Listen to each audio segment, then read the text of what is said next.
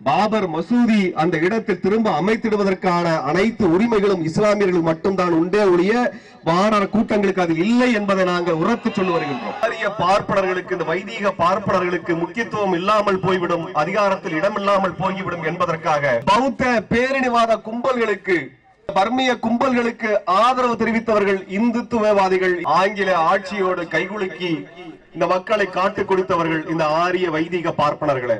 காந்தியை படுகொலை செய்கிறார்கள். அன்பான தோழர்களே டிசம்பர் ஆறு என்பதை மிக சூழ்ச்சியாக தேர்ந்தெடுத்து அம்பேத்கரினுடைய தினத்தை நாம் எல்லாம் மறக்கடிக்க வேண்டும் மறந்திருக்க வேண்டும் என்கின்ற அடிப்படையிலும். இந்த தேசத்தை இஸ்லாமியர்கள் எதிர்ப்பு தேசமாக ஒரு அரசியலாக கட்டியெழுப்ப வேண்டும் என்பதற்காக கிட்டத்தட்ட ஆயிரத்தி தொள்ளாயிரத்தி நாற்பத்தி ஒன்பது டிசம்பர் மாதம் இருபத்தி இரண்டாம் தேதி இரவிலே அந்த பாபர் மசூதியிலே சென்று வழிபாடு நடத்துவதற்குரிய அனைத்து ஏற்பாடுகளையும் இந்துத்துவ இயக்கங்கள் செய்தன.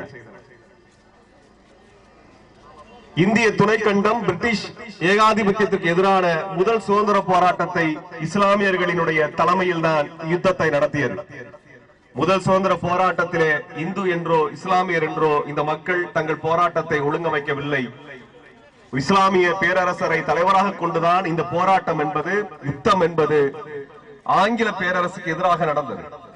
இந்த நாட்டினுடைய அனைத்து மக்களும் ஆங்- ஆங்கில ஏகாதிபத்தியத்திற்கு எதிராக ஒன்று திரண்டு நடத்திய அந்த போராட்டம் அதிலே இந்த ஆரிய பார்ப்பனர்களுக்கு இந்த வைதீக பார்ப்பனர்களுக்கு முக்கியத்துவம் இல்லாமல் போய்விடும் அதிகாரத்தில் இடமில்லாமல் போய்விடும் என்பதற்காக ஆயிரத்தி எட்நூத்தி எழுபதுகளில் எண்பதுகளில் இருந்து இஸ்லாமியரை இந்த போராட்டத்திலிருந்து தனிமைப்படுத்துகின்ற முயற்சி செய்து வந்தார்கள். இந்திய அளவில் ஆங்கில ஏகாதிபத்தியத்துக்கு எதிரான ஒரு தீரமிகு போராட்டத்தை நடத்தியவர்கள் இஸ்லாமியர்களே. ஆங்கில ஆட்சியோடு கைகுலுக்கி இந்த மக்களை காட்டு கொடுத்தவர்கள் இந்த ஆரிய வைதிக பார்ப்பனர்களே. இந்த ஆரிய வைதீகம் ஆங்கில பேரரசுக்கு அடுத்தபடியாக தாங்கள் தான் அதிகாரத்தில் இருக்க வேண்டும் என்று நடத்திய அந்த ஒரு மாபெரும் சூழ்ச்சி ஆயிரத்தி எட்நூத்தி எழுபதுகளில் ஆரம்பிக்கிறது. அப்பொழுதே இவர்கள் பசுவதைக்கு எதிரான ஒரு பிரச்சாரம் என்கின்ற பிரச்சாரத்தில் இஸ்லாமியர்களை தனிமைப்படுத்துகின்ற வேலையை செய்கிறார்கள். தொடர்ச்சியாக இந்த ஆரிய சமாஜம் பிரம்ம சமாஜம் போன்றவை இது வைதீக பார்ப்பனியத்தை உயர்த்தி பிடித்து அதுதான் இந்துத்துவம் என்கின்றாக அனைத்து மக்களையும் இணைக்கின்ற வேலையும் இஸ்லாமியர்களை தனிமைப்படுத்துகின்ற வேலையும் தொடர்ச்சியாக நடத்துகிறார்கள். இதனுடைய முதற்கட்டமாக இஸ்லாமியர்களுக்கு எதிரான ஒரு பெரும் வன்முறை ஆயிரத்தி தொள்ளாயிரத்தி முப்பதிலே பர்மாவிலே நடக்கிறது. இப்பொழுது ரோஹிங்க இஸ்லாமியர்கள் நடக்கக்கூடிய இந்த வன்முறையினுடைய துவக்க புள்ளி ஆயிரத்தி தொள்ளாயிரத்தி முப்பதிலே தமிழ் இஸ்லாமியர்களுக்கு எதிராக ரங்கூனிலும் இதர நகரங்களிலும் பர்மாவிலே பர்ம பௌத்த பேரினவாதத்தினால் முன்னெடுக்கப்பட்டது என்பதை நாம் மறந்துவிடக் கூடாது அன்று தமிழ் இஸ்லாமிய வணிகர்கள் பெருமளவில் தாக்கப்பட்ட பொழுது தமிழ் வணிகர்கள் தாக்கப்பட்ட பொழுது இந்த பௌத்த பேரினவாத கும்பல்களுக்கு அந்த பர்மிய கும்பல்களுக்கு ஆதரவு தெரிவித்தவர்கள் இந்துத்துவவாதிகள் இந்துத்துவ சரணாதிகள். இந்த ஆர் எஸ் அந்த கும்பல் தான் அன்றும் இஸ்லாமியர் மீதான தாக்குதல் பர்மாவிலே தீவிரப்படுத்தப்பட வேண்டும் என்பதை வெளிப்படையாக பேசினார்கள். அதற்கு பிறகு இந்திய துணைக்கண்டம் என்பது ஒட்டுமொத்தமாக அனைத்து மக்களுக்குமாக அனைத்து ஒடுக்கப்பட்ட மக்களுக்குமான ஒரு தேசமாக இருந்துவிடக் கூடாது என்பதை மிக கவனமாக தேர்ந்தெடுத்து இஸ்லாமியர்களுக்கான ஒரு நாடாக பாகிஸ்தான் பிரிய வேண்டும் என்பதிலிருந்து பல்வேறு சூழ்ச்சிகளை நடத்தி முடித்தவர்கள் ஆயிரத்தி தொள்ளாயிரத்தி நாற்பத்தி எட்டில் இந்திய விடுதலை அடைந்த ஏழு மாதங்களுக்குள்ளாகவே காந்தியை படுகொலை செய்கிறார்கள். ராம் என்கின்ற அந்த ஒற்றை சொல் இந்துத்துவ பார்ப்பனிய பயங்கரவாதத்தை அடையாளப்படுத்த வேண்டும் என்பதற்காகவே காந்தியடிகள் மீது நடத்தப்பட்ட படுகொலையாக மாறுகிறது. அவர்கள் எதிர்கால திட்டத்தையும் சேர்த்து வகுக்கிறார்கள். இந்துக்களுக்கும் இஸ்லாமியர்களுக்குமான பிரிவு பிரிவு என்பது இந்தியா முழுவதும் இந்த துணைக்கண்டம் முழுவதும் விரிவுபடுத்த வேண்டும் என்பதற்காக ஆயிரத்தி தொள்ளாயிரத்தி நாற்பத்தி ஒன்பது டிசம்பர் இருபத்தி ரெண்டு இருபத்தி மூன்று அந்த இரவுகளிலே அந்த பாபர் மசூதியிலே அங்கே வணக்கங்களை அங்கே கூட்டங்களை நடத்தி கொண்டிருந்தவரை அடித்து விரட்டிவிட்டு அங்கே தங்களது விக்கிரகங்களை வைக்கிறார்கள்.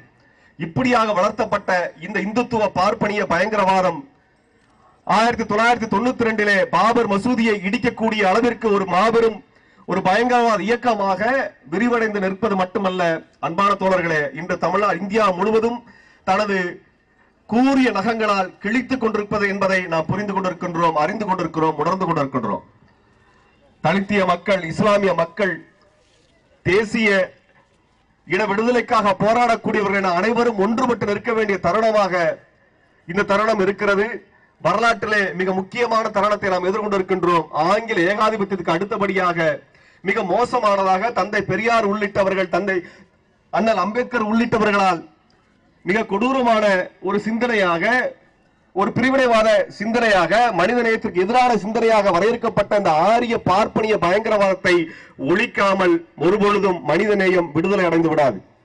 இந்திய துணைக்கண்டத்திலே நாம் விடுதலை அடைய வேண்டும் என்றால் தேசிய விடுதலையும் ஆரிய பார்ப்பனியத்திடமிருந்து விடுதலை அடைய வேண்டிய அரசியலையும் முன்னெடுக்க வேண்டிய தருணமாக இந்த தருணம் இருக்கிறது. இந்த டிசம்பர் ஆறு என்கின்ற நாள் நமது கோரிக்கைகளை உரத்து இந்த உலகம் முழுவதும் கேட்பதற்குரிய ஒரு தினமாக மாற்ற வேண்டும். மே பதினாலு இயக்கம் ஏழு வருடங்களுக்கு முன்பாக இதே தளத்தில் ஒரு கோரிக்கையை முன்வைத்தது. சச்சார் கமிட்டியினுடைய பரிந்துரைகள் நடைமுறைப்படுத்த வேண்டும். சச்சார் கமிட்டி இஸ்லாமிய இன மக்களுக்கு என்ன விதமான ஒரு பாதிப்பை இந்திய துணைக்கண்டம் செய்திருக்கிறது என்பதை மிகச் சிறந்த அளவிலே ஆவணப்படுத்தி அதற்குரிய தீர்வை முன்வைத்தார்கள்.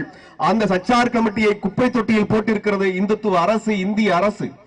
அந்த கமிட்டியின் பரிந்துரைகள் நடைமுறைப்படுத்தப்பட வேண்டும் என்பதைத்தான் நாங்கள் மே பதினாலு இயக்கம் இந்த தினத்தில் கோரிக்கையாக முன்வைத்தோம் இன்றும் அதை முன்வைக்கின்றோம். அது மட்டுமல்ல தோழர்களே பாபர் மசூதி அந்த இடத்தில் திரும்ப அமைத்திடுவதற்கான அனைத்து உரிமைகளும் இஸ்லாமியர்கள் மட்டும்தான் உண்டே ஒழிய வானர கூட்டங்களுக்கு அது இல்லை என்பதை நாங்கள் உரத்து சொல்லி வருகின்றோம். இந்துத்துவ கும்பல்கள் இந்திய துணைக்கண்டத்திலிருந்து மட்டுமல்ல இந்த உலகத்தினுடைய கருத்தியல் தளத்திலிருந்தே அகற்றப்பட வேண்டும் என்பதில் எங்களுக்கு எந்தவித மாற்று கருத்தும் இல்லை. தமிழகத்திலே தமிழகத்திலே ஒரு வலுவான கூட்டணி இருக்கிறது. இங்கே இஸ்லாமிய தோழர்கள் தலித்திய அம்பேத்கரிய தோழர்கள் மார்க்சிய கம்யூனிச தோழர்கள் திராவிட இயக்க தோழர்கள் தமிழ் தேசிய தோழர்கள் என்று ஒரு மாபெரும் வலுவான கூட்டணி தமிழகத்தில் இருக்கிறது. இங்கே இந்த குரங்கு கூட்டம் வாளை ஆட்டிக் கொண்டிருந்தால் ஒட்டுமொத்தமாக வாழ் நறுக்கப்படும் என்பதை சொல்லிக் கொள்கின்றோம். அன்பான தோழர்களே இந்திய துணைக்கண்டத்திலே இருப்பதை போல பிற மாநிலங்களில் இருப்பதை போல இங்கெல்லாம் இவர்கள் ஒரு நிழல் ஆட்சி முறையை நடத்திவிட முடியாது. அப்படியே நடத்திவிட விரும்ப- விரும்பினாலும் அவர்கள் நிழல் ஆட்சியை மட்டும்தான் நடத்த முடியும். அதுவும் மிக குறுகிய காலம் மட்டுமே அவர்கள் ஆசையை தீர்த்து கொள்ள முடியும் என்பதை இந்த தருணத்தில் நாம் பதிவு செய்து கொள்வோம். இந்த அரசியல் களத்திலிருந்து ஒட்டுமொத்தமாக பாஜக ஆர் எஸ் எஸ் விஹெச்பி போன்ற இந்துத்துவ கும்பல்களை துடைத்தெறியக்கூடிய போராட்டத்திலே இங்க இருக்கக்கூடிய அனைத்து ஜனநாயக சக்திகளோடும் மே பதினேழுக்கும் தோளோடு தோல் இருக்கும் என்று சொல்லி டிசம்பர் ஆறு நம் உரிமையை மீட்டெடுப்போம் என்கின்ற உரிமை முழக்கத்தை மீண்டும் சொல்லி நாம் ஒன்றுபட்டு நிற்போம் இந்துத்துவத்தை ஆரிய வைதிக பார்ப்பனியத்தை வேறறுப்போம். நன்றி வணக்கம். இந்த மாதிரி நிறைய வீடியோஸ்க்காக ஐபிசி தமிழை சப்ஸ்கிரைப் பண்ணுங்க. நாங்க போடுற ஒவ்வொரு வீடியோவையும் நீங்க மிஸ் பண்ணாம பார்க்கணுமா? அப்போ கீழே இருக்க பெல் பட்டனை மறக்காம கிளிக் பண்ணுங்க.